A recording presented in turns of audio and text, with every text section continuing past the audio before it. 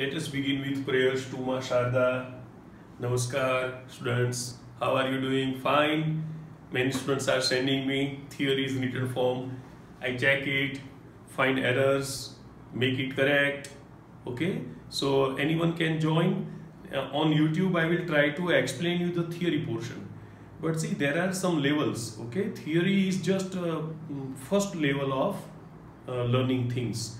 Then you have to prepare it you have to solve some problems you have to solve mcqs you have to prepare for NEET JEE okay? So that follow uh, is not possible on YouTube.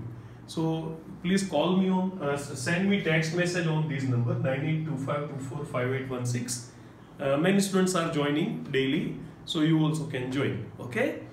This is a special day first May okay? It is Gujarat day okay? It is also Maharashtra day. On that day both the states were uh, separated. Uh, I was born in Nagpur so I am Maharashtrian by that way. And uh, this is my workplace Gujarat. So I'm Gujarati by that way. Feeling proud okay? And it is also International Labor Day okay? So salute to all laborers laborers who have uh, contributed in building the nation and the world. Okay? So let us uh, this is our today's topic. Physical significance of electric field. Physical significance of electric field. Okay? Here are the points. But here is a quick revision. From that we can derive these points. Okay? So first of all what is physically significance? See electric field is a concept given by Faraday. Okay it is not visible. We cannot see electric field surrounding us. As you cannot see my voice, similarly you cannot see electric field. Then uh, how we can experience it? Okay, how physically we can experience it? That is called physical significance. Okay, so uh, we know that what is what was uh, what is the definition of electric field? Actually, electric field is the effect of a charge in a certain area surrounding it and it, it is measured in terms of electric field intensity. And sometimes both are similar. Okay we can consider both as similar because electric field only can be described using electric field intensity. Okay? So now what is electric field intensity? Let us have quick revision. This is source charge capital Q. Okay? This is test charge small q.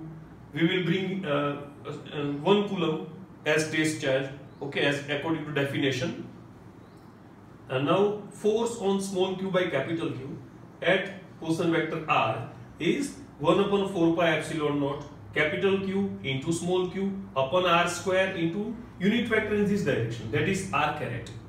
Okay? And if we divide this by small q force by small q that is test charge okay? Or in other words taking q as small q as 1 coulomb then we will get um, obtain electric field intensity that is force upon charge that is q 1 upon 4 pi epsilon naught capital Q upon r square into r cap. Okay. From this we can have these uh, many points. First of all, what is electric field?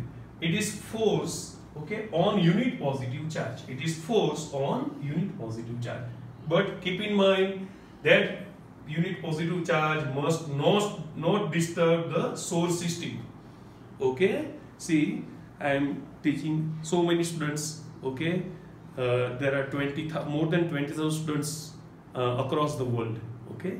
So uh, but see some students were very clever uh, some were intelligent some were geniuses uh, some were mischievous okay?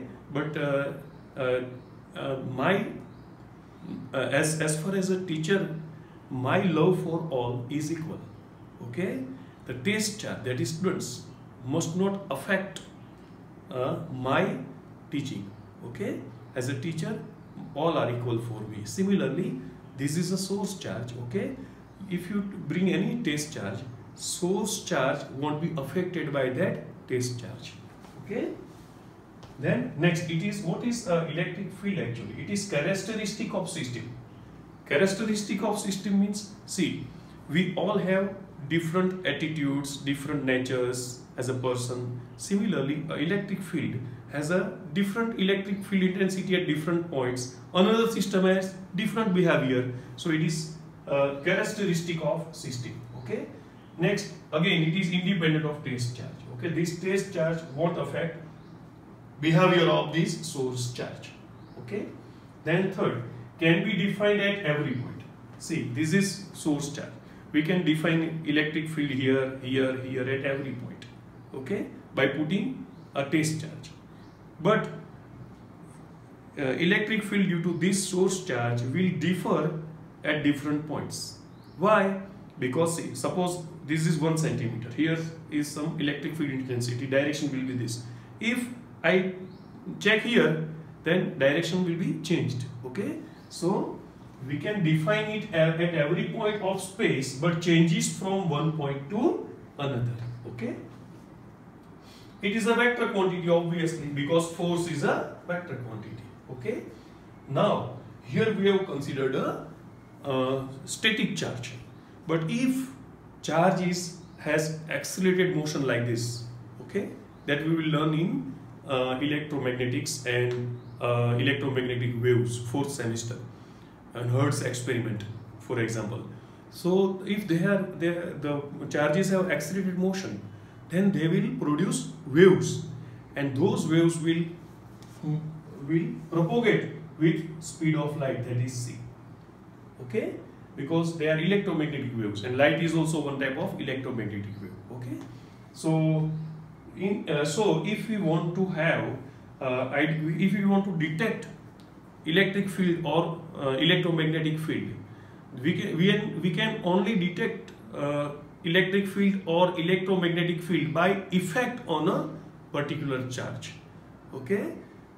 Uh, we will keep up to this today. Bye